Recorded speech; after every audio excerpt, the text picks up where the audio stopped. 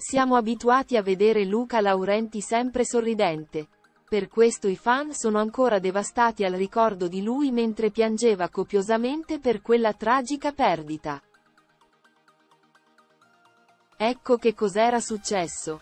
Luca Laurenti è un personaggio dello spettacolo molto famoso che è entrato nel cuore dei suoi fan fin dagli esordi a fianco del suo socio e amico, Paolo Bonolis.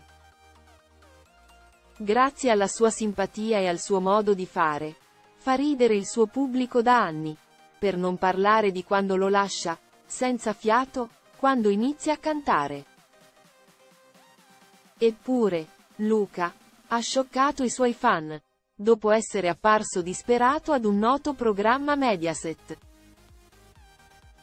Le sue lacrime hanno straziato i cuori del pubblico, già provato per la notizia tragica da poco appresa. Nonostante sia passato un anno da quell'evento, ad oggi, la sua reazione è ancora fresca nella mente dei fan. La devastazione di Luca Laurenti. Tra l'altro, da qualche settimane Luca Laurenti ha subito un altro colpo al cuore. Da quello che abbiamo capito, Paolo Bonolis ha condotto quest'anno l'ultima edizione di Ciao Darwin, in quanto prossimamente dirà addio, non si sa se per sempre o per un certo periodo, al suo lavoro di conduttore. D'altronde, l'ex marito della Bruganelli, ha lavorato da una vita e adesso ha voglia di godersi un po' la pensione, insieme ai suoi figli.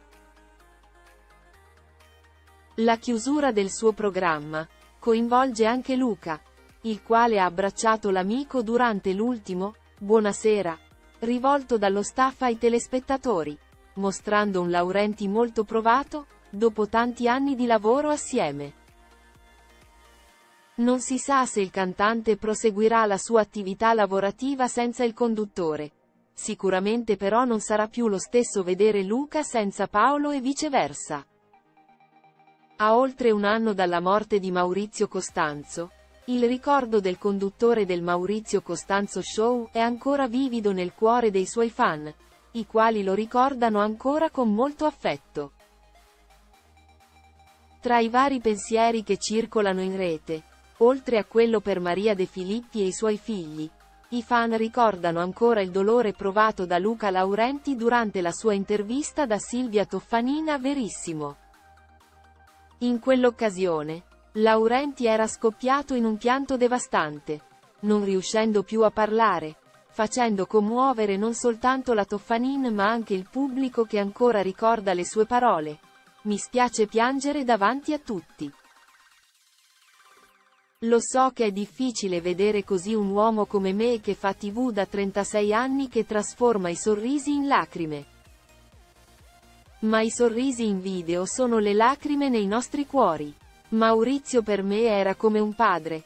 Non ci si abitua alla perdita delle persone.